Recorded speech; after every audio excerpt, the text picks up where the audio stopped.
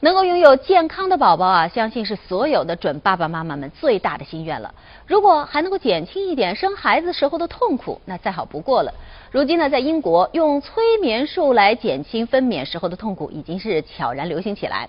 据说下个月将会临盆的英国王妃凯特也会考虑尝试这个方法。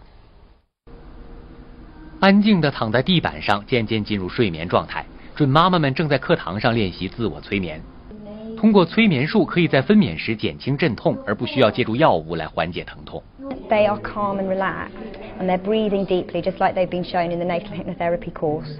Um, the birthing hormones, the, the oxytocin and the endorphins, all those hormones that are necessary to make labour progress, make labour happen, can work effectively. If they're scared and they're tense, then adrenaline comes into the situation, and that actually stops the labour.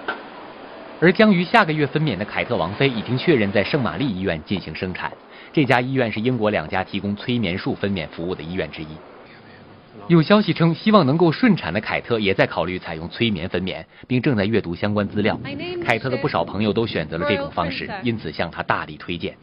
倘若凯特真的采用催眠分娩法，或将引发众多英国孕妇的效仿。东方卫视编辑报道。